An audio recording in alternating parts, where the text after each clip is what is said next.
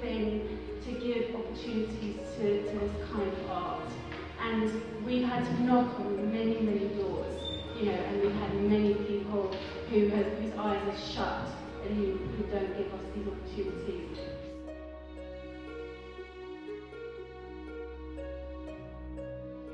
We are very glad about this uh, exhibition because the theme of uh, human and civil rights has been since the beginning at the center of our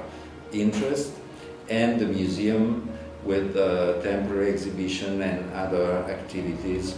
always paid uh, great attention not only to the war, the Second World War, the resistance and the liberation of Italy, but also to our present day society and to the issues, the main issues of our contemporary uh, society.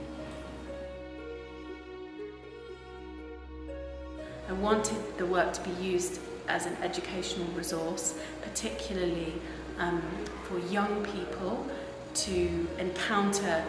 the women and encounter stories about refugees and trafficking and survival.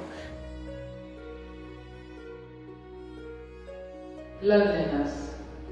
togetherness, care, attention, worry, pain, suffering,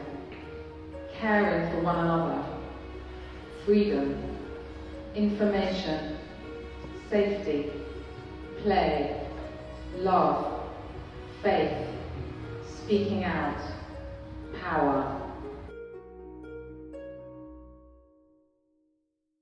We see the refugees all around us, but we just see them as a, a big lump of people, and to us, they have no stories, they have no history, they all look the same. Um, whereas this kind of work, which is produced by refugees themselves opens their lives out to us. And we start to see them with stories, with lives that happened before they were refugees and we start to consider them to be people who are equal to us rather than people that we see represented in a news story. Those people, those citizens of Turin can come to a show like this and it's a beginning, it's a door that's opening into their world, it's a window they can look through into a reality that exists elsewhere.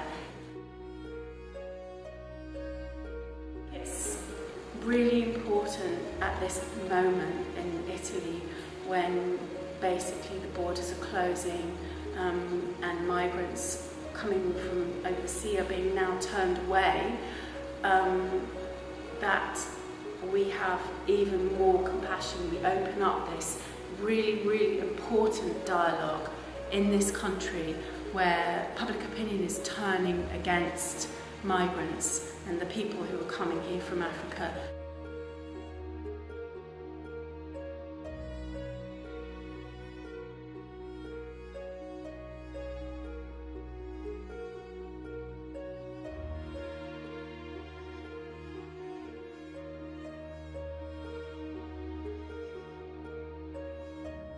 So this exhibition seems to have come at a crucial moment for all those who are working for refugee rights in Italy and working to save and protect those who are being either trafficked here or forced for other economic reasons to escape the conditions that they're in in Africa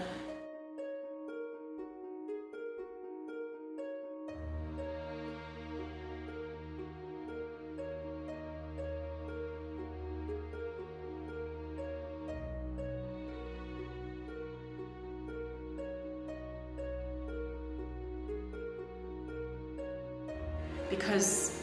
without integration, without understanding, there is actually no way forward in any society. There's only further division, um, misunderstanding, hatred and discrimination as we can see from the lessons that we hopefully are learning from history.